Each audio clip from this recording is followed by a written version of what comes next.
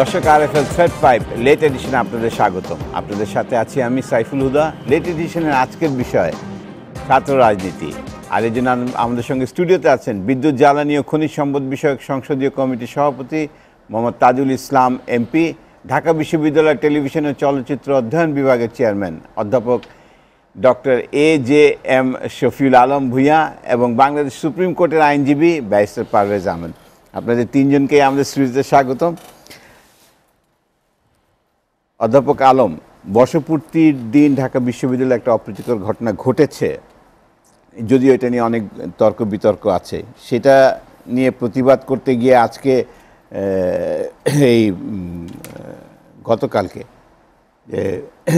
ছাত্র ইউনিয়নের নেতাকর্মীদের উপরে পুলিশের একটা লাঠিচার্জ বলব আমি। পুরো বিষয়টাকে আপনি কীভাবে দেখেন? মানে এই প্রতিবাদটা কতটুক মানে ওই পর্যন্ত যাওয়া উচিত কিনা বা পুলিশেরও বা অ্যাডমিনিস্ট্রেশনের এটা আগেই হ্যান্ডেল করা উচিত ছিল কিনা? যেমন ধরুন, যে ঘটনাটি পহেলা বৈশাখের দিন ঘটেছিল ঢাকা বিশ্ববিদ্যালয় ক্যাম্পাসে সরারদি উদ্যানের গেটে, সেই ঘটনাটির সমালোচনা আমরা সবাই করেছি এবং এটার বিচার চেয়েছি আমরা এবং ঢাকা বিশ্ববিদ্যালয়ের একটি তদন্ত কমিটি কাজ করছে, পুলিশেরও তদন্ত কমিটি কাজ করছে। পাশাপাশি ছাত্র ইউনিয়ন সহ বাম সংগঠনগুলো এটা নিয়ে আন্দোলন করছে। তা আমি মনে করি যে যে যে ঘটনা পহেলা বৈশাখের দিন ঘটেছিল সেই বিষয়টা নিয়ে আন্দোলন করাটা যৌক্তিক। আন্দোলন করাই উচিত। কারণ যারা এই ধরনের অপকর্মের সাথে জড়িত ছিল তাদের শাস্তি নিশ্চিত না হওয়া পর্যন্ত আন্দোলনটা চালিয়ে যাওয়া। এখন গত খুব সম্ভবত গত পরশু দিন আমরা গতকাল বা গতকালকে যে ঘটনাটি দেখেছি যে ছাত্র ইউনিয়নের সহ বামদের একটা শোভাযাত্রা পুলিশ কমিশনারের বা অফিসের দিকে যাচ্ছিল। তো একসময় মিন্টো রোডের এখানে এসে আমরা দেখলাম যে প্রথমে আপনার যারা প্রসেশন করছিল তাদের মধ্য থেকে একটু পুলিশের গাড়িতে ঢিল পাটকেল নিক্ষেপ করা হয়েছে। তারপরে আমরা দেখেছি যে পুলিশ অ্যাকশানে গেছে এবং বিশেষ করে পত্রিকায় যে ছবি দেখেছি যে একটি মেয়েকে যেভাবে আক্রমণ করেছে পুলিশ সেটি দেখে আমি একটু লজ্জিত হয়েছি। তবে এখানে আশা ব্যঞ্জক বিষয় হলো যে যেই পুলিশ কনস্টেবল এটি করেছে তাকেও কিন্তু একেবারে তৎক্ষণাৎ সাময়িকভাবে বরখাস্ত করা হয়েছে। তো এই ঘটনার মধ্য দিয়ে আমার কাছে যেটা মনে হয় যে পহেলা বৈশাখের ঘটনা এবং এই যে এই আন্দোলনে গিয়ে তারা হ্যাঁ এমন হতে পারে যেমন পুলিশের পক্ষ থেকে প্রশ্ন তোলা হয়েছে যে যে তারাও বাড়াবাড়ি করেছে, যদি এটি সত্যও হয়, যে তাহলে পুলিশ যখন একজন ছাত্রীর সাথে, আমি জানি না সে ঢাকা বিশ্ববিদ্যালয়ের ছাত্রী না অন্য জায়গার ছাত্রী, বা একজন নারীর সাথে যখন আচরণ করবে পুলিশ তাকেও কিন্তু ভাবতে হবে যে যে প্রোটেস্ট করার রাইট তো মানুষের আছে। তো সেই প্রোটেস্টকারীর বিরুদ্ধে সে যদি আইন লঙ্ঘন করে, তার বিরুদ্ধে পুলিশের ব্যবস্থা নেওয়ারও কিন্তু রাইট আছে। তো সেই ব্যবস্থা নিতে গিয়ে নারীদের সাথে কি ধরনের আচরণ করবে, শিশুদের সাথে কি ধরনের আচরণ করবে, সেই বিষয়টাও কিন্তু পুলিশকে ভেবে দেখতে হবে। কারণ পুলিশ অনেক সময় অনেক ভালো কাজ করেছে। এই যে একটা দুটা কাজ এই যে ঘটনাটি ঘটেছে, এটির মধ্য দিয়ে পুলিশের আমি মনে করি যে সুনামহানি হয়েছে এবং সরকারও অনেকটা বিব্রতকর অবস্থায় পড়েছে। তবে পুলিশ কনস্টেবলের বিরুদ্ধে ব্যবস্থা নিয়েছে। তা আমি আশা করব যে এটি দিয়ে একটা বহিঃপ্রকাশ হয় আসলে, যে আমাদের সমাজে আমরা মেয়েদেরকে কীভাবে দেখি। এটি কিন্তু একটা সামাজিক ব্যাধির মতো, যে আমরা নারীদের প্রতি কী ধরনের আচরণ করি, ঘরে এবং বাইরে, তারই একটা বহিঃপ্রকাশ আমি পহেলা বৈশাখেও দেখেছি, আমি গতকালকের ঘটনায়ও দেখেছি। তো সেই জন্য আমার মনে হয় যে পুলিশ প্রশাসনের তরফ থেকে যেমন পহেলা বৈশাখের ঘটনার কিন্তু এখনও সুরাহা হয়নি। যে যারা অপরাধ করেছিল তাদেরকে চিহ্নিত করে আইনের আওতায় এখনও আনা যায়নি। আমরা আমরা যোগাযোগ যখন করি তখন পুলিশের পক্ষ থেকে বলা হয় যে এই বিষয়ে তদন্ত চলছে। আমি জানি যে ঢাকা বিশ্ববিদ্যালয়ের একটা তদন্ত চলছে। এবং গতকালকে যে ঘটনাটি ঘটেছে যারা অ্যাক্সেসটা করেছে পুলিশের যেই সদস্য যেমন কখনোই পুলিশের এক দুইজন সদস্যের অপরাধের কারণে পুরো পুলিশ বাহিনীকে যেমন দোষ দেওয়া যাবে না আবার পুলিশ বাহিনীরও কিন্তু উচিত না যে এক দুইজনের অপকর্মের দায় দায়িত্ব তাদের কাজ বলে মনে করা। তো যারা এই কাজটি করেছে তাদেরকে খুঁজে বের করা আইনের আওতায় আনা কারণ না হলে এই ধরনের ঘটনার কিন্তু পুনরাবৃত্তি হতেই থাকবে। তাজুল ভাই আপনি এমপি হিসেবে কীভাবে দেখেন এই পুরো ঘটনাটাকে? আপনাকে ধন্যবাদ। আমার মনে হয় শফিল আজম সাহেব যথার্থই বলেছেন বিষয়টার উনি যেভাবে ব্যাখ্যা দিয়েছেন, এখানে কারোই দ্বিমত করার আমার মনে হয়, বিশেষ করে আমি ব্যক্তিগতভাবে ওনার সাথে পুরোপুরি একমত পোষণ করে এই কথাই বলব যে আসলে আমাদের এগুলো অত্যন্ত দুঃখজনক, পয়লা বৈশাখের ঘটনা অথবা গতকাল একজন ছাত্রীর সাথে পুলিশের যে বাড়াবাড়ি পর্যায়ে যেটুকু গিয়েছে, এটা আসলে আমাদের কাছে কাম্য ছিল না। কিন্তু একটু এক বিষয় আমাকে একটু বলতেই হবে যে আমাদের সামগ্রিক অবক্ষয়ের কিন্তু এটার একটা সম্মিলিত অথবা বিচ্ছিন্ন একটা বহির্প্রকাশ আমাদের ছাত্র রাজনীতির একটা অতীত ঐতিহ্য ছিল। আমরা এদেশের মানুষ, ছাত্রদেরকে যে দৃষ্টিভঙ্গিতে তাদের দিকে তাকাতো এই ছাত্ররাই কিন্তু সেই দৃষ্টিভঙ্গির প্রতিফলন ঘটাইছে আমাদের স্বাধীনতা যুদ্ধে এবং আমাদের স্বাধিকার আন্দোলন, গণ আন্দোলন সহ ইত্যাদি কর্মকাণ্ডে এই ছাত্র রাজনীতি অথবা ছাত্র সংগঠনগুলি একটি বড় ধরনের সম্মানিত এবং প্রশংসিত ভূমিকা তারা পালন করেছেন এটা দুঃখজনকভাবে আমরা দূরে রাখতে পারিনি। বিশেষ করে স্বাধীনতার পরে হঠাৎ করে সামরিক বাহিনী কর্তৃক রাষ্ট্রীয় ক্ষমতা দখল করার পরে তখন বিশ্ববিদ্যালয়গুলোতে অস্ত্র এবং টাকা সরবরাহ করা হয়েছে এবং গুন্ডামিকে প্রশ্রয় দেওয়া হয়েছে। মানি ইজ নো প্রবলেম এই কথা বলে আপনার ছাত্রদেরকে ন্যাক্কারজনক কর্মকাণ্ডের সাথে সম্পৃক্ত করার জন্য উৎসাহিত করা হয়েছে। এবং আমরা দেখেছি রাষ্ট্রের পরিচালনার সাথে সম্পৃক্ত শক্তি বিশ্ববিদ্যালয়গুলোতে সরাসরি অস্ত্র সরবরাহ পর্যন্ত করেছেন এবং যে যত বেশি গুন্ডামি করতে পেরেছেন, তাদেরকে তত বেশি পুরস্কৃত করা হয়েছে। এবং এই বিশ্ববিদ্যালয়কে এভাবে রক্তে রঞ্জিত করা হয়েছে, কলঙ্কিত করা হয়েছে, ছাত্র সমাজকে ক্ষতিগ্রস্ত করা হয়েছে। এখন ক্ষতিগ্রস্ত হওয়ার পর দিয়ে আমরা সম্মিলিত ছাত্র সমাজকে, আসলে ছাত্র রাজনীতিকে যদি আমরা যদি দোষারোপ করি, তাহলে এটা আমার মনে হয় পুরোপুরি ঠিক হবে না। এখানে আমাদের একটি রাষ্ট্রীয়, রাষ্ট্রের, সমাজের শিক্ষক সম্প্রদায় পেশাজীবী সবার সম্মিলিত আমাদের একটা দায়বদ্ধতা আছে দায়িত্ব আছে। যে ছেলেগুলি আজকে পয়লা বৈশাখে কোনো নারীকে কোনো আমার বোনকে আহ, উত্তক্ত করেছেন লাঞ্ছিত করেছেন তারও বোন আছে তারও মা আছে। আমরা তাদেরকে স্মরণ করাই দিতে পারি নাই আমরা তাদেরকে বুঝাইতে পারি নাই আমরা তাদেরকে অবক্ষয় থেকে ধরে আনতে তুলে আনতে পারিনি তবে এটা আমার মনে হয় দীর্ঘায়িত হওয়া উচিত হবে না। আমরা যদি বুঝি যে আসলে আমাদের সমস্যাগুলা কোথায় সমস্যাগুলো আমরাই সৃষ্টি করেছি এবং সেই সৃষ্ট সমস্যা থেকে আমরাই ছাত্র সমাজকে বের করে এনে একটি সৃজনশীল এবং আগামী আগামী দিনের এই বাংলাদেশকে একটি উন্নত বাংলাদেশ গড়ার জন্য মাননীয় প্রধানমন্ত্রী শেখ হাসিনার যে স্বপ্ন এবং আমাদের যে মধ্য আয়ের দেশ এবং উন্নত বাংলাদেশ গড়ার জন্য তাদেরকে সেই রকম একটি সক্ষম মানুষ হিসাবে নিজেদেরকে গড়ে তোলার জন্য তাদেরকে আমরা উদ্বুদ্ধ করতে পারি। আমি মনে করি, আমি ব্যক্তিগতভাবে রাজনীতি যেহেতু করি, সমাজের সকল শ্রেণি পেশাজীবী মানুষের সাথে আমার একটা সম্পৃক্ত থাকবে, এটাই স্বাভাবিক। তো এরই আমি সূত্র ধরে যদি আমার নিজস্ব রিয়েলাইজেশনের কথা যদি বলি, আমি দেখি যে এই নতুন প্রজন্ম, নতুন ছেলেরা, এরা একটা নতুন চিন্তা চেতনা নিয়ে কিন্তু আবির্ভাব হচ্ছে। এখন সমাজে যদি আমরা যদি সমাজটাকে আমাদের তাদেরকে এই পরিবেশটা দিতে ব্যর্থ হই তাহলে কিন্তু তারা ক্ষতিগ্রস্ত হবে। এবং এই ক্ষতির দায় কিন্তু বিভিন্নভাবে সমাজের বিভিন্ন অঙ্গে প্রতিফলিত হবে। তো অতএব সম্মিলিত দায়িত্বটা আমাদেরকে নেওয়া উচিত। আমি যত বেশি সঠিক কথা বলব, আমি যত বেশি দায়িত্ব নিয়ে তাদেরকে আমি আমি যখন নাকি দিক নির্দেশনা দেব, অথবা যদি আমার উপর অর্পিত দায়িত্বটা আমি যদি সঠিকভাবে পালন করি, তারা আমাকে দেখে উৎসাহিত হবে, উদ্দীপ্ত হবে এবং তার মাধ্যম দিয়ে ছাত্র সমাজ, আগামী প্রজন্ম, ইয়াং জেনারেশন আমরা একটা সক্ষম এক জেনারেশন পাবো এবং আমরা মনে করি যে সময়ের ব্যবধানে এগুলো আমাদের সমাজ থেকে চলে যাবে, থাকবে না ইনশাল্লাহ ভাইসে পারভেজ আমরা যা জানি যে এই ধরনের কোনো মিছিল বা কোনো প্রসেশন যদি বের হয় ঢাকা ইউনিভার্সিটিতে, পুলিশ কিন্তু অনেক আগে থেকেই জানে। কিন্তু যেই জায়গায় পুলিশের সাথে অ্যাকশন পুলিশ অ্যাকশনে গেল, সেই জায়গায় পর্যন্ত তো মিছিল আসারই কথা না প্রথম। আমি যেটা বুঝি আর কি, কখনই আসতে দেওয়া হয় না নর্মালি মূর্তিপাড়ায় বা রমনা পার্কের ওই পাশটুকু মৎস্য ভবনের ওইদিকে আর আসতে দেওয়া হয় না তো এই মিছিলটা এতদূর যখন যেতেই দেওয়া হলো, তারপরে আবার অ্যাকশনে গেল কেন পুলিশ?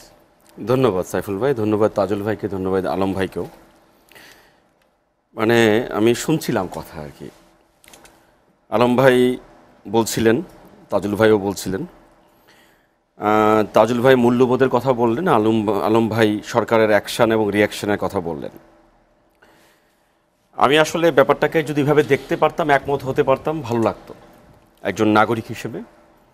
কিন্তু কষ্টের জায়গাটি হয়েছে কি, আমরা বোধহয় কেউ একবারও বলার চেষ্টা করলাম না যে যারা এখানে জড়ো হয়েছিলেন, এই একশো, দেড়শো, দুইশো মতান্তরে, শিক্ষার্থী হোক বা নাগরিক হোক, তাদের দাবিটা কি ছিল? তাদের কিন্তু কোনো, তারা বলে না নতুন নির্বাচন চাই। তারা জামাত, বিএনপির মতো কোনো জোটও না, দেখার মাত্র গুলি নির্দেশ প্রাপ্য, কোনো বিক্ষোভকারীও না। তারা কোনো স্বাধীনতা বিরোধী কোনো জোটও না। তারা সরকারেরই একটা অন্যতম এক্সটেনশন একটা রূপ, যারা কিছুদিন আগেও আমরা দেখছি যাদেরকে শাহবাগে সর্বোচ্চ পরিমাণ প্রোটেকশন দিয়ে পুলিশ প্র- প্র- প্রহরায়, তারা আদালতকে বৃদ্ধাঙ্গুলি প্রদর্শন করে তারা দাবি দেওয়া আদায় করার চেষ্টা করেছেন। এখন তারা একইভাবে তারা বলেছেন যে বর্ষবরণের উৎসবে তিন স্তরের নিরাপত্তা ভেদ করে যে জাতির যে কজন কুলাঙ্গার সন্তান, অথবা আমি টিপ্পণী কেটে বলি সূর্য সন্তান, যারা ওদিন আমার মা বোনের ইজ্জত নিয়ে ছিনিমিনি খেলার চেষ্টা করেছিল পুলিশের নাকের ডগায়, এবং যা এর মধ্যে কয়েকজনকে ধরে পুলিশের সোপর্দ করার পরও অভিযোগ আছে পুলিশ তাদেরকে ছেড়ে দিয়েছিল। সেই ব্যক্তিগুলির বিচারের দাবিতে গতকাল তারা একটা স্মারকলিপি পুলিশ কমিশনারের বরাবরে দেওয়ার জন্য তারা চেষ্টা করেছিলেন এর বেশি কিন্তু কিছু তাদের চাওয়া পাওয়া ছিল না। যতটুকু আমার একজন নাগরিক হিসেবে যতটুকু বুঝি। এখানের মধ্যে যদি সেই ঘটনাতে আমরা যদি মনে করি, রাষ্ট্র যদি একটা মানবিক রাষ্ট্র হয়, একটা মানবিক আবেদনে তারা দাবি করছে যে যারা অভিযুক্ত তাদেরই সাজা দেওয়া হোক। তারা বলেনি সরকারের এই গুন্ডা পান্ডাদের সাজা দিতে হবে। তারা কোনো নির্দিষ্ট কোনো ব্যক্তির নামও বলেনি। তারা নির্দিষ্ট কোনো ফোর্সের কথাও বলেনি। তারা বলেছে, যারাই অভিযুক্ত তথ্য প্রমাণের ভিত্তিতে যেখানে অসংখ্য ফুটেজ আছে, যাকে মনে হবে সরকার কর্তৃক বোঝা যাবে যে হ্যাঁ এই তদন্ত কমিটির মাধ্যমে এই কয়টা ব্যক্তি অভিযোগ, অভিযুক্ত, তাদের বিরুদ্ধেই ব্যবস্থা নেওয়ার তারা দাবি উচ্চারণ করেছিলেন। সেখানে পুলিশ সেই দাবিগুলি পুলিশের কাছে মনে হয়েছে সরকার বিরোধী। যে পুলিশ দেখামাত্র গুলি করার নির্দেশপ্রাপ্ত সেখানে তাদের এত কেন স্বাদ হলো, তাদের তারা মিছিল করবে? কারণ যেখানে আপনার ভোটাধিকার অলরেডি হিমাগারে বা মুক্তিযুদ্ধ জাদুঘরে বা অন্য কোথাও সংরক্ষিত আছে, আপনি কেন এত বেয়াদব হবেন? সরকারের বিরুদ্ধে আপনি দুশো লোক নিয়ে মিছিল করবেন, দাবি করবেন তাদেরকে অভিযোগ করার জন্য। যেখানে অলরেডি অভিযুক্ত ব্যক্তিদের ব্যাপারে কানাঘোষা শোনা যায় যে তারা সরকার দলীয় ছাত্র সংগঠনের সদস্য কিনা। না হলে যদি তারা বিরোধী দলের অভিযুক্ত হয়, তাহলে এতদিনে তাদের বিরুদ্ধে ব্যবস্থা নেওয়া হয়ে যেত। আর যদি সরকার দলীয় না হয়ে থাকে, তাহলে তারা এক্সামশন পাওয়ার সুযোগ থাকতে পারে। এখন এই যে গত চোদ্দোই এপ্রিলের ঘটনা, আজকে প্রায় দশই মে গতকাল বিশ্ব মা দিবস ছিল। সে মা দিবসের দিন চুলের মুঠি ধরে ফ্লাইং কিক মেরে পুলিশ আমার দেশের মা জাতির প্রতি ইজ্জতের একটা বিনম্র প্রদর্শন করেছে। আমরা হয়তো শব্দ চয়ন দিয়ে বা নিজেদের বুলি দিয়ে হয়তো এটাকে মাছ দিয়ে শাক ঢাকবো, কেউ সরকারকে বাঁচানোর জন্য আরও শব্দ বাক্য প্রয়োগ করব। কিন্তু যে লজ্জিত, ঘৃণিত উদাহরণটি আমরা সৃষ্টি করলাম, যে পুলিশ বাহিনী তো একদিনে এই ফ্রাঙ্কাস্টেনের ভূমিকা অবতীর্ণ হয়নি। আপনি মাথায় রাখতে হবে সাইফুল ভাই, আমি কিন্তু পুরো পুলিশ বাহিনীর বিরুদ্ধে বলছি না। পুলিশের যে ব্যক্তি, পুলিশের যে কর্মকর্তা, যার নির্দেশে, যার সুপারভিশনে এই কার্যটি, এই নাটকটি, এই ঘটনাটি, এই অত্যাচারটি সংঘটিত হয়েছে। শুধুমাত্র তার প্রতি আমার ধিক্কার। কারণ পুরো পুলিশ বাহিনীর বিরুদ্ধে আমাদের কোনো বক্তব্য নেই।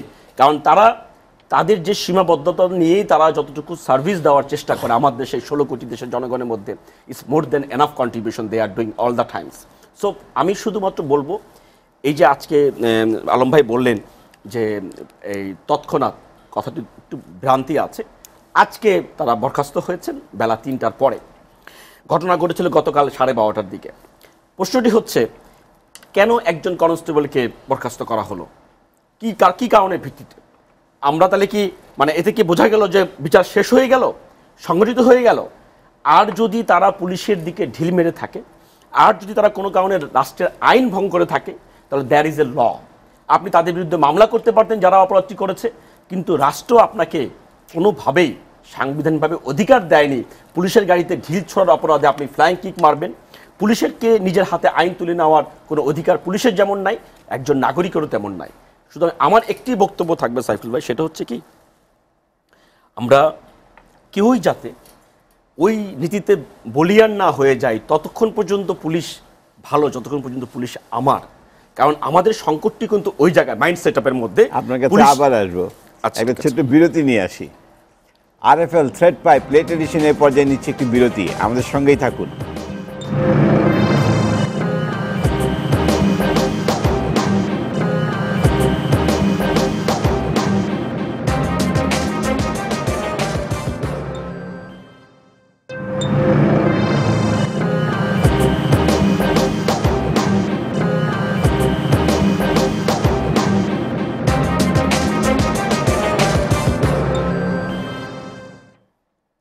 দেখছেন এসিটিভি রাতের আয়োজন R F L thread pipe late edition late এডিশনে আজকের বিষয় ছাত্র রাজনীতি।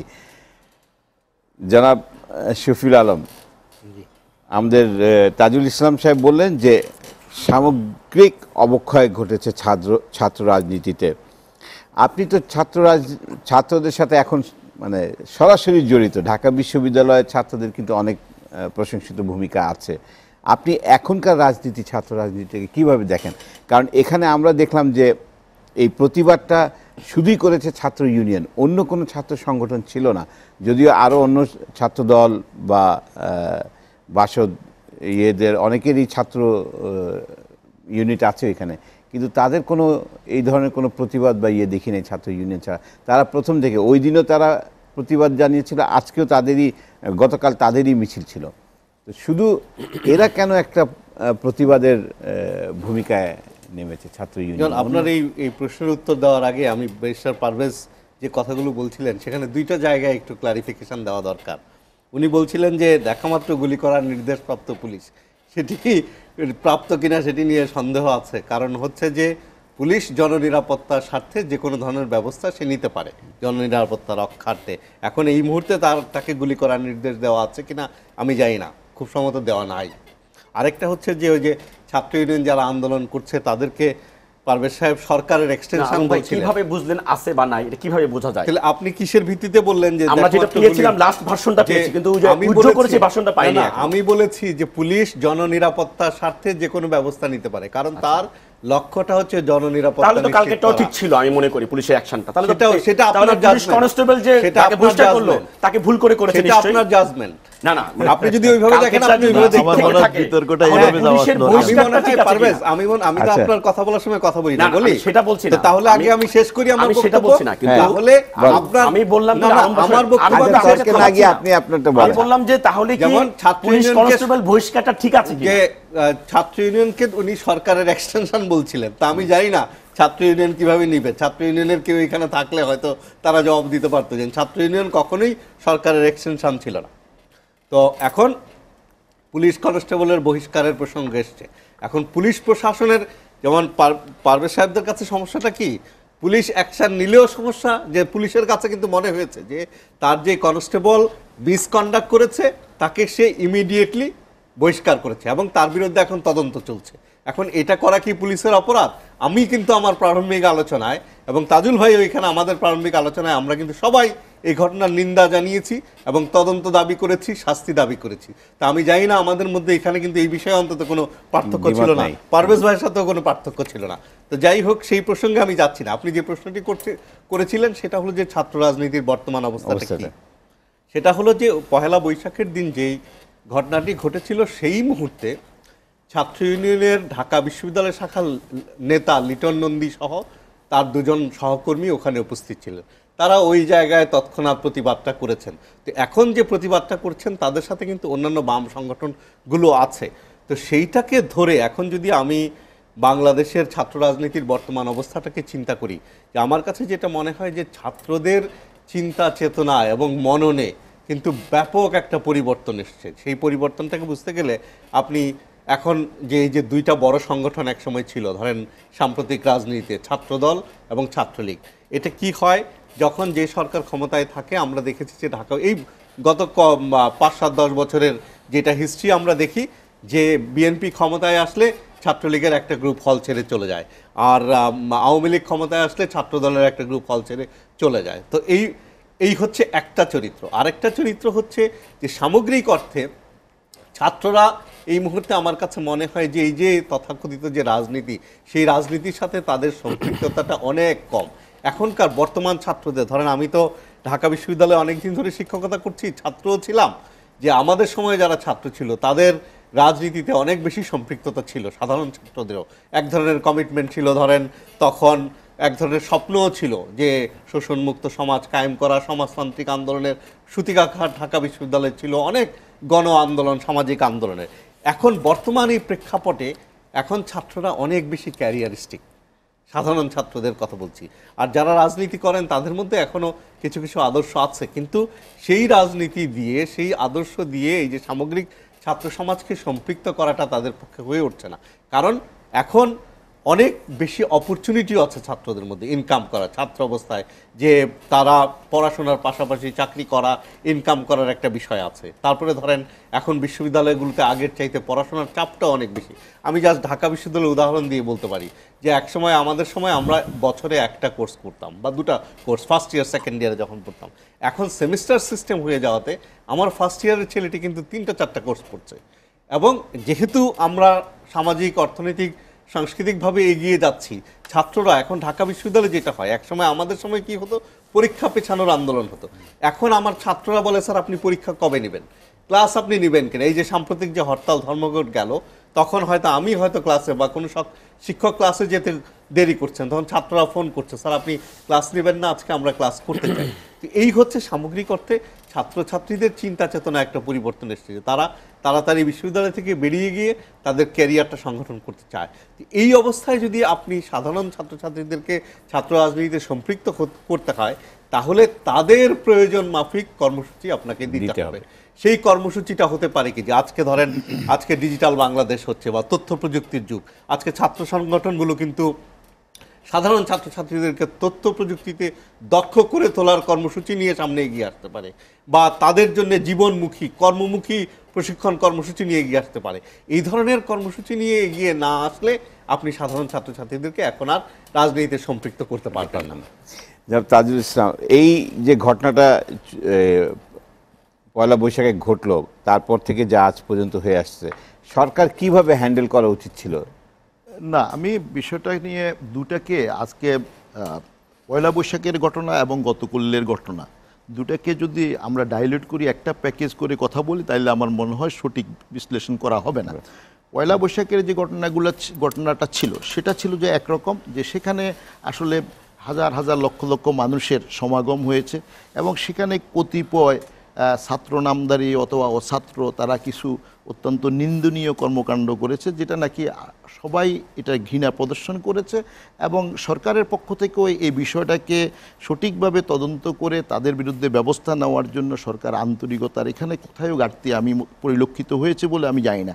কিন্তু এখন আপনি সরকারকে বেকায়দা পালানোর জন্য, সরকারকে কোনো রকমে দোষারোপ করে অন্য কোনো উদ্দেশ্য আপনার হাসিল করার জন্য আপনি বিভিন্ন বক্তব্যের অবতারণা করতেই পারেন। এবং এরকম বহুভাবে বিভিন্ন ডাইমেনশনে এই সমস্ত বিষয়গুলোকে ব্যাখ্যা বিভিন্নভাবে বিভিন্নজন দিয়েছে।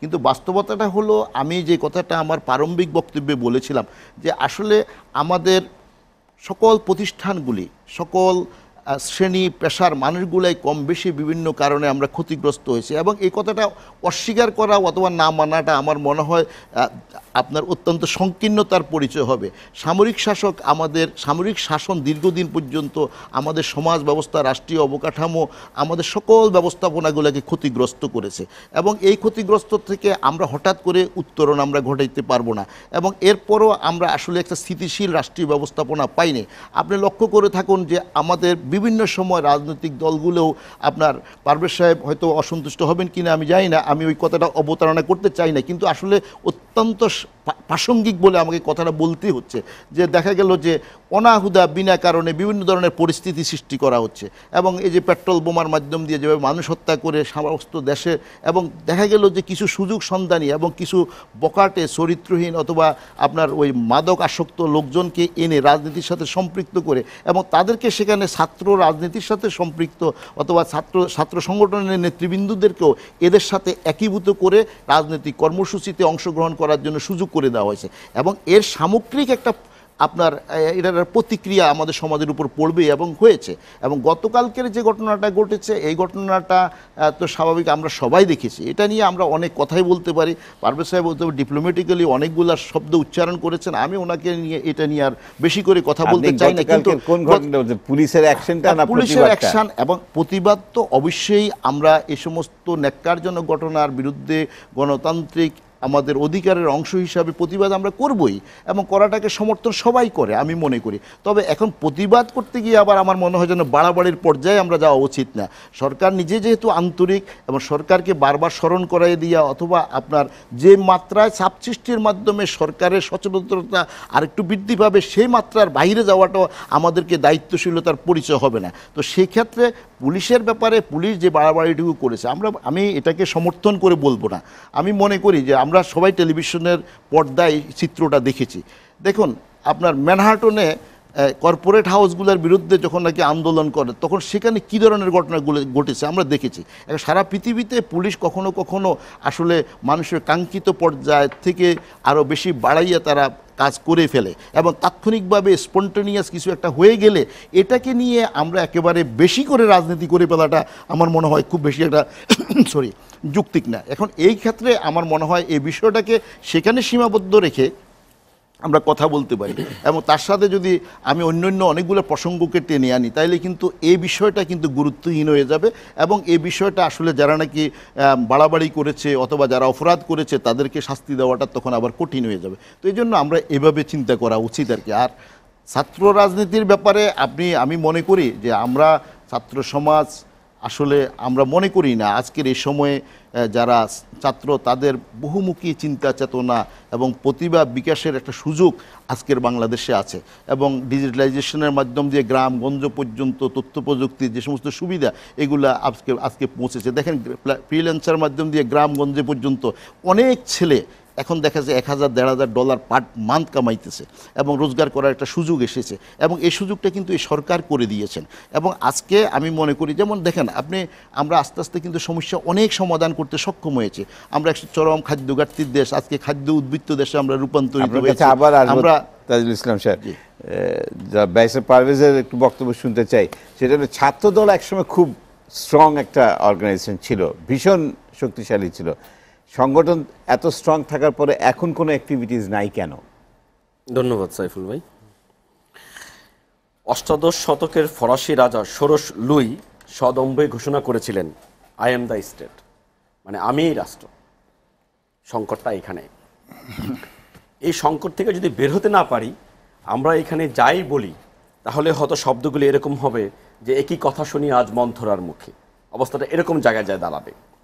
আসলে ব্যাপারটি হয়েছে কি, তাজুল ভাই যে সম্ভাবনার কথাটা বললেন, সুযোগের কথা বললেন, এগুলি নিয়ে কোনো বিতর্ক নেই। বাংলাদেশ স্বাধীনতার তেতাল্লিশ বছর পরে তার কাঙ্ক্ষিত লক্ষ্যের দিকে আস্তে আস্তে ধীর পায়ে স্লো বাট স্টেডিতে এগিয়ে যাচ্ছে, এটাই বাস্তবতা। স্বাধীনতা উত্তর প্রজন্ম হিসেবে আই ফিল প্রাউড যে আমার দেশ এগিয়ে যাচ্ছে। আমরা বোধহয় একটা জিনিস ভুলে যাচ্ছি, যখন সাকিব আল হাসান খুব ভালো ব্যাটিং করে সেঞ্চুরি করে, তখন পুরো বাংলাদেশ সাকিব আল হাসান হয়ে যায়। কেন? কারণ তখন সাকিব আল হাসানের একা যখন সে আউট হয়ে যায় জিরো রানে তখন তখন পুরো বাংলাদেশের বিপক্ষে চলে যায় কেন? সাকিব আল হাসান দলের একজন মানে পরীক্ষিত ব্যাটসম্যান যে ভালো রান করবে, এটাই হয়তো আমার ডিজার্ভনেস এটাই আমার এক্সপেকটেশন এর বাইরে আমি মেনে নিতে পারব না। পুলিশ আমার প্রতি নাগরিক দায়িত্ব পালন করবে, পুলিশ মানবিক থাকবে, পুলিশ চরম কঠিনের মুখেও তার দায়িত্ব থেকে বিচ্যুতি ঘটবে না।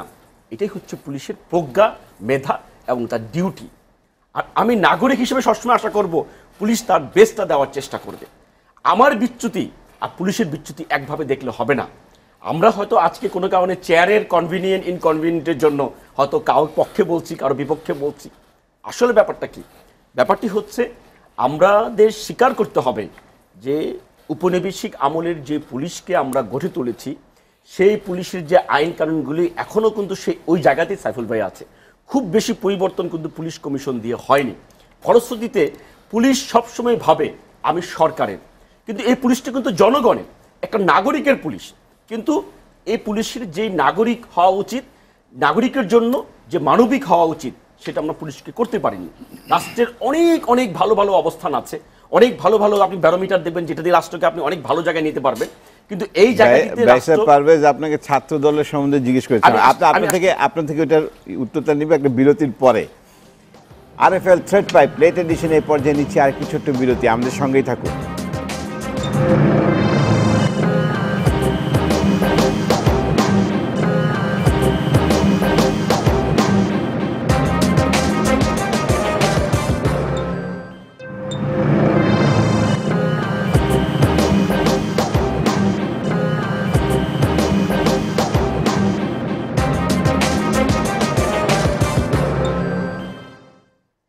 দেখছেন এসিটিভি রাতের আয়োজন R F L thread pipe late edition late এডিশনে আজকের বিষয় ছাত্র রাজনীতি।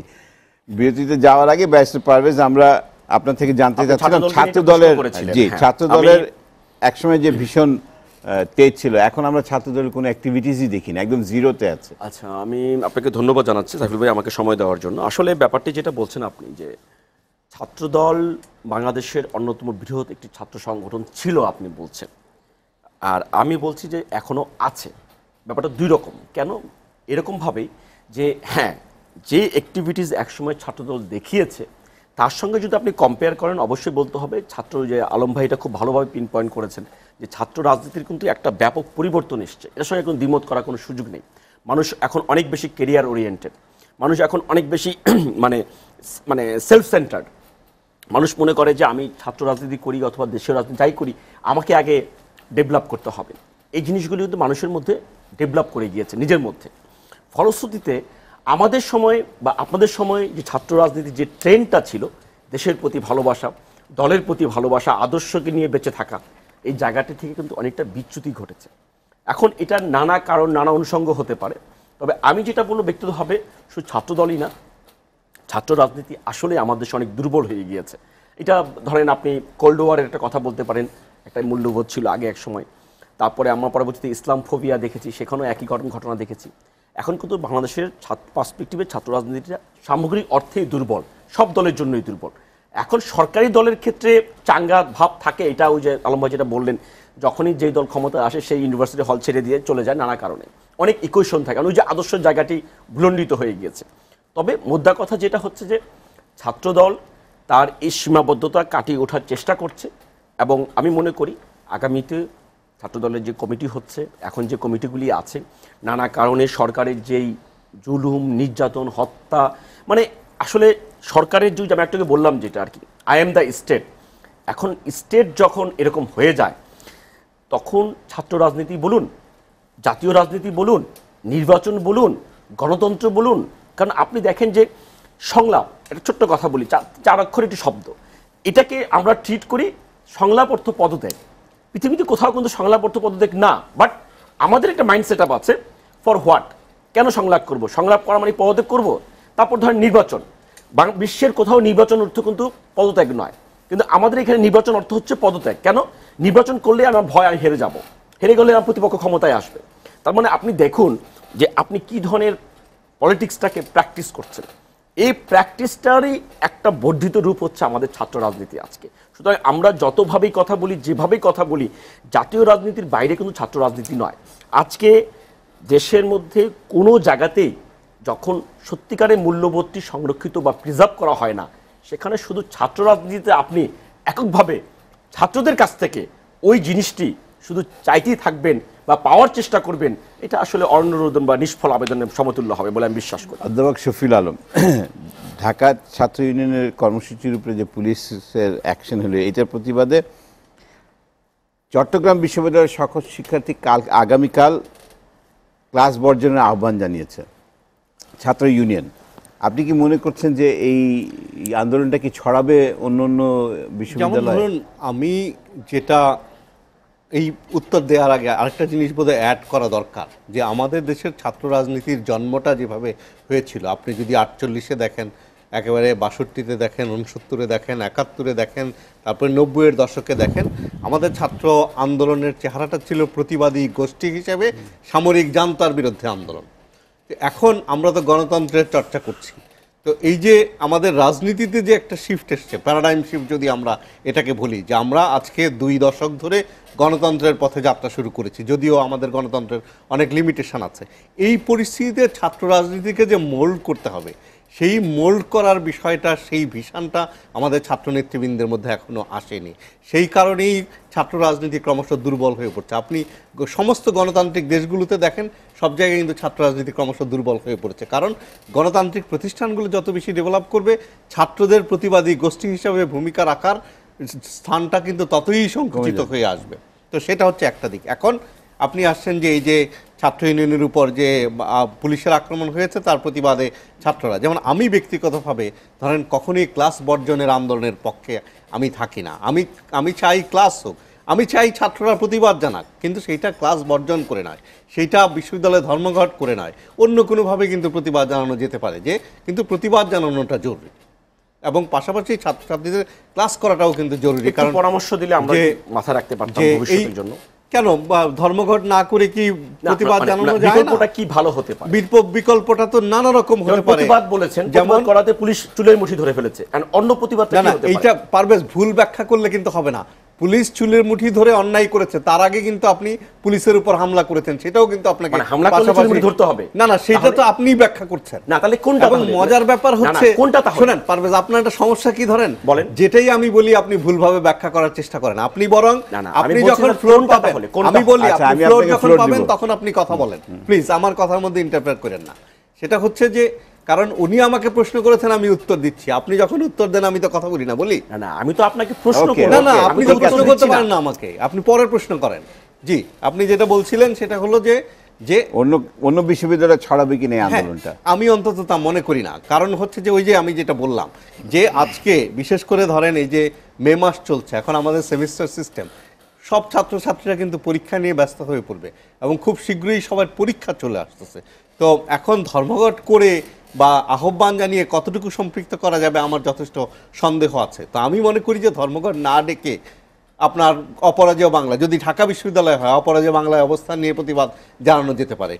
টিএসসিতে বসে অবস্থান নিয়ে প্রতিবাদ জানানো যেতে পারে। এবং টিএসসিতে অপরাজেয় বাংলায় সব জায়গায় আমরা শিক্ষক সমিতি থেকে দাঁড়িয়েছি ঘটনার বিপক্ষে।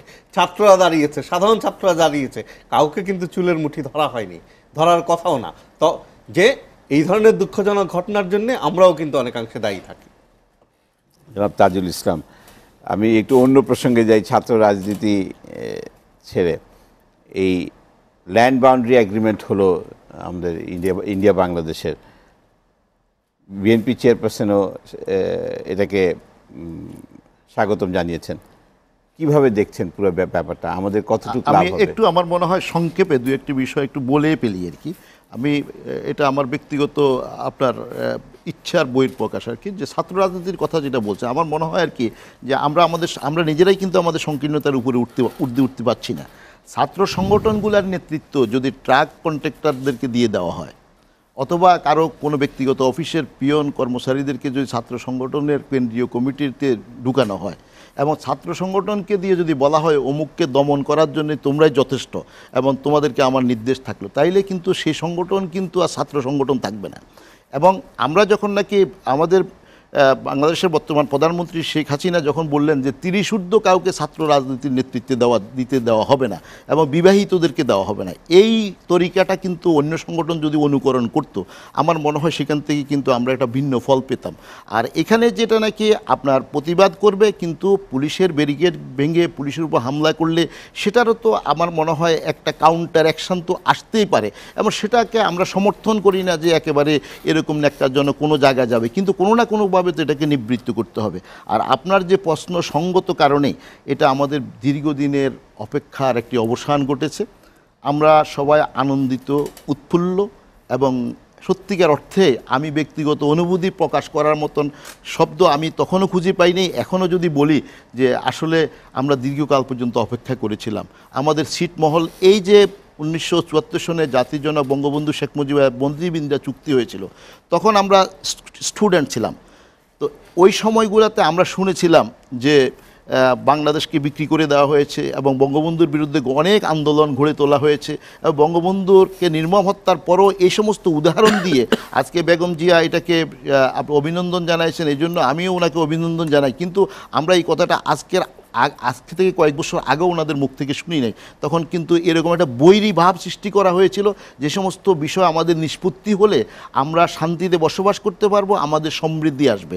এবং সেগুলাকে যাতে না হয়, সেজন্য বিভিন্ন সময় উস্কানিমূলক বক্তব্য দিয়ে ভারত, বাংলাদেশের সম্পর্কটাকে আমার মনে হয় নতজানু করার চেষ্টা করা হয়েছে।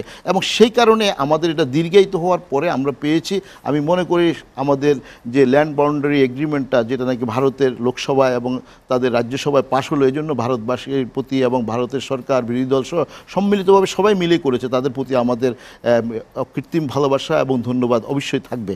তার পাশাপাশি আরও কতগুলো বিষয় আমি আপনার কাছ থেকে একটু তুলে আনাটা দায়িত্ববোধ মনে করছি। শুধুমাত্র ল্যান্ড বাউন্ডারি সমস্যার সমাধান হয়নি আপনার আমাদের মেরিটাইম আপনার বাউন্ডারিও আমাদের সমাধান হয়েছে এবং এটা শেখ হাসিনার নেতৃত্ব হয়েছে। কিন্তু এরও আরেকটু পিছনে যাই যখন নাকি শান্তি চুক্তি করা হয়েছিল এখানে যখন নাকি অশান্তি সৃষ্টি করা হয়েছে আমার নিজের দেশের উৎপাদি আমার দেশের টাকা দিয়ে আমি আমার নিজেদের লোকদেরকে হত্যা করছি এবং আমাদের সেনাবাহিনী পাঠাচ্ছে আমাদের লোকদের বিরুদ্ধে যুদ্ধ করতে। এটাকে যখন নাকি আমরা যখন নাকি শান্তি চুক্তির মাধ্যমে সমাধান করতে গেলাম এবং সমাধান যখন করলাম তখন দেখা গেল যে বলা হয়েছে ফেনী পর্যন্ত ভারতকে দিয়ে দেওয়া হয়েছে। এবং এ দেশকে, আপনার, অন্য দেশের কাছে বিক্রি করে দেওয়া হয়েছে। এই সমস্ত প্রতিবদ্ধ এই সমস্ত দুঃখজনক ঘটনাগুলো সেদিন কিন্তু আমরা শুনেছি। আমরা যখন নাকি পারাক্কার পানি না আসার কারণে মরুভূমি হয়ে যাচ্ছিল, তখন পারাক্কার পানি যখন নাকি উনিশশো সাতানব্বই, আটানব্বইতে যখন নাকি চুক্তি করে পানি আনার ব্যবস্থা করার মাধ্যমে ওই- এলাকাতে শস্য ফসল উৎপাদনের ব্যবস্থা করা হয়েছিল, তখন বিভিন্ন ধরনের কথা বলা হয়েছে, এমনও বলা হয়েছে যে এই পানি দিয়ে অজু হবে না এবং এই পানি ঘোলা পানি আসে, এই পানি পরিষ্কার পানি না ইত্যাদি তখন আমি সংসদে বক্তৃতা থেকে বলেছিলাম যে আসলে ওনাদের বড় মনে কষ্ট যে গঙ্গার পানি আসতেছে কেন? যদি সিন্ধু নদীর পানি আসতো, হয়তো ওনারা খুশি হতো। কিন্তু দুর্ভাগ্যজনকভাবে সিন্ধু নদীর পানি তো এখানে আনা যাচ্ছে না। তো এরকম কতগুলো বিষয় আমাদের এখানে আছে। আমরা অনাহুদা কতগুলো পরিস্থিতি সৃষ্টি করে রেখেছি। আমি আরেকটা বিষয়ের সাথে সংক্ষেপে, সংযোজন করি। পৃথিবীর ইউরোপের পুরা দেশ, একটি দেশ আরেকটা দেশকে আপনার ট্রানজিট দিয়ে তারা সবাই লাভবান হচ্ছে। এবং তাদের কানেক্টিভিটিগুলোকে স্ট্রং করে তাদের ইকোনমিক স্ট্যাটাসটাকে তারা অনেক বেশি শক্তিশালী করতে সক্ষম হয়েছে। আমরা আমাদের ভারত প্রতিবেশী দেশ এবং বাংলাদেশ আমরা উভয় উভয়ের সাথে যত বেশি বেশ করে সহযোগিতা সম্প্রসারণ করতে পারব কানেক্টিভিটি যত স্ট্রং করতে পারব রিলেশন যত বেশি ভালো করতে পারব ভারতের এখানে আপনি একটা লক্ষ্য করুন ভারতের কংগ্রেস সরকার ক্ষমতায় ছিল তখনও বাংলাদেশ আওয়ামী লীগের সাথে বাংলাদেশের সরকারের সাথে বাংলাদেশের জনগণের সাথে একটা সম্পর্কের উত্তরণ করতেছিল এবং অনেক উর্বর হয়েছিল এবং কংগ্রেস চলে যাওয়ার পরও যারা নাকি বিজেপি ক্ষমতায় এসেছে, তারাও ভারতের জনগণের প্রতিনিধিত্ব করে। তারা বুঝতে পেরেছে যে এই বাংলাদেশ তাদের প্রতিবেশী কারা হওয়া উচিত এবং কাদের নেতৃত্বে বাংলাদেশ পরিচালিত হলে তারাও শান্তিতে থাকবে এবং এই সাবকন্টিনেন্টালের মানুষগুলো শান্তিতে থাকতে পারবে।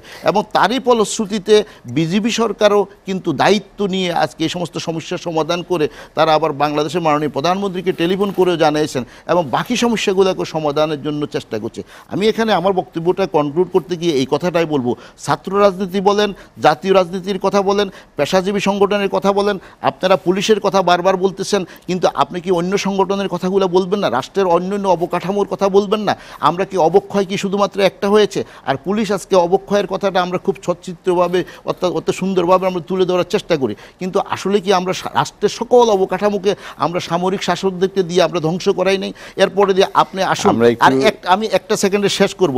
আমরা কি ভুলে গেছি? একুশে আগস্টে গ্রেনেড হামলার মাধ্যমে শেখ হাসিনাকে হত্যা করা আসানুল্লাহ মাস্টার কিবরিয়া সাহেব হত্যা করার মাধ্যম দিয়ে এদেশে গোটা রাজনীতিক চরিত্র এবং মানুষকে মানুষকে একটা অনিশ্চয়তার দিকে ঠেলে দিয়ে আমরা আগামী প্রজন্মকে কি শিক্ষা দিয়েছি? যে শিক্ষাটা আপনারা দিয়েছেন সে শিক্ষার প্রতিফলন কিছু না কিছু ঘটবেই। স্বাভাবিকভাবে আপনারা আমরা সত্য- আজকে এখানেও যদি আমরা সত্য কথাটা বলতে পারতাম যে কি কারণে ছাত্র সংগঠনগুলো ক্ষতিগ্রস্ত হয়েছে কি কারণে। কীভাবে হইতে পারে উত্তরণ সে কথাগুলো কিন্তু আমরা না বলে কোনো না কোনোভাবে সরকারকে সমালোচনা করা অথবা আমার নিজস্ব কোনো কর্মসূচি উদ্দেশ্য বাস্তবায়নের জন্য আমি চেষ্টা করছি। ছোট্ট। আমি একটু ল্যান্ড বাউন্ডারি নিয়ে একটু দুটো কথা বলার ইচ্ছা ছিল আমার আমার মনে হয় সময় পাবো না। ছোট্ট একটা জিনিস জানতে চাচ্ছি। থার্টি সেকেন্ড আমাদের কাছে সময় আছে। সেটা সিটি কর্পোরেশন নির্বাচনের পর আমরা বিএনপির কোনো প্রোগ্রাম পাই নাই। বিএনপির নেক্সট প্রোগ্রাম কীরকম হতে পারে? তিরিশ সেকেন্ডে বলতে হবে। তাহলে তো আমার প্রতি ইনজাস্টিস হয়ে গেল। তারপরেও বলছি সিটি নির্বাচনের যদি এটাকে আবার নির্বাচন বলতে হয় তাহলে তো ওই দুই হাজার চোদ্দ সালে পাঁচই জানুয়ারি যেটা হয়েছে বরং এটার চেয়ে আরও ভালো ডেভেলপমেন্ট ছিল। ওখানে শুধু পার্থক্য একটাই ওখানে প্রার্থী ছিল না। একেবারে সবাই যার যার মতো করে নিজের ভোট নিজে দিয়েছে। অপোজিশন ছিল না। হ্যাঁ মানে ও প্রার্থী ছিল না বলা যায় কারণ কেউ প্রার্থী দাঁড়ায় না অনেকে বলছে নাকি। অটো হয়েছে মানে আগের তো রিজাইনও করতে হয় না ওই সংসদ বাতিলও হয় নাই। যাক ওটা আর বলতে চাচ্ছি না। আর এবারে পার্থক্য হয়েছে যে না এবার ভোটটি আগের দিন শেষ করতে সক্ষম হয়েছে পরের দিন নাটকটি মঞ্চস্থ হয়েছে। এখন যেটা বলা যায় বিএনপি একটা জিনিস প্রমাণ হলো আমার দেশে, যে বিএনপি যখন কোনো নির্বাচনে যায়, সেটাকে তখন নির্বাচন নাম দেওয়া যায় আক্ষরিক অর্থে এবং আইনগত অর্থে এবং বাস্তবিক অর্থে। আর বিএনপি যখন কোনো কারণে সেই নির্বাচনটি থেকে বিরত থাকে, তখন আমরা নিজেরাই কি বলি? নিজেকে শৃঙ্খলিত করে ফেলি। কীভাবে সেটা? দুই হাজার চোদ্দ সালে পাঁচই জানুয়ারি বিএনপি কেন নির্বাচন বর্জন করে সেটাতে আমি যাব না। কিন্তু এটা শুধু বলি বিএনপি সেই নির্বাচনটিতে অংশগ্রহণ করেনি। বাংলাদেশের এই যাবৎকালের সবচাইতে ভালো অবৈধ নির্বাচন ছিল ওটাই। এবং সিটি কর্পোরেশন নির্বাচনে একই অবস্থা। বিএনপি নির্বাচন বর্জন করে ফেলল দেখে আওয়ামী লীগ মনে করল তাদের কারচুপি না করলে জয়ী হওয়া যাবে না। বর্জন না, বর্জন করল বলে। তাহলে প্রশ্নটি হচ্ছে যে যেই বিএনপি না থাকলে নির্বাচন হয় না, যেই নির্বাচন, যেই দলটি না থাকলে দেশে গণতন্ত্র টিকে না, আজকে রাষ্ট্র সরকারি দল সর্বগ্রাসী ভূমিকা অবতীর্ণ হয়েছে সেই দলটিকে নিঃশেষ করে দেওয়ার জন্য। যতক্ষণ আপনি দিতে পারব যতক্ষণ না আপনি আপনাকে। সংবিধানে গণতন্ত্র শব্দটি রাখবেন যতক্ষণ আপনি নির্বাচন ব্যবস্থাকে নির্বাচন কমিশন রাখবেন তখন পর্যন্ত আপনাকে গণতন্ত্র এবং নির্বাচন যেটাকে মিন করে সেই অর্থে প্র্যাকটিস করতে হবে। এটা নিয়ে আরেকদিন আলাপ করব। দর্শক জানিয়ে রাখি লেট এডিশন পুনঃপ্রচার হয় সকাল নয়টায়। আজ এ পর্যন্তই। মঙ্গলবার নতুন কোনো অতিথির সঙ্গে কথা বলব সে পর্যন্ত ভালো থাকুন এসিটিভির সঙ্গে থাকুন। শুভরাত্রি।